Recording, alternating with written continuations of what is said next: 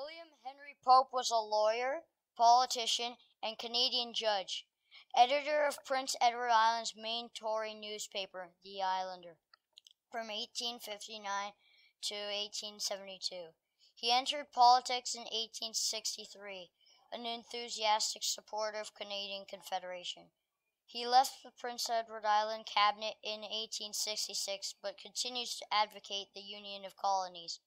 After this was completed in 1873, under the leadership of his brother James Colledge Pope, he was appointed judge of a Prince County Court on the colony of Prince Edward Island.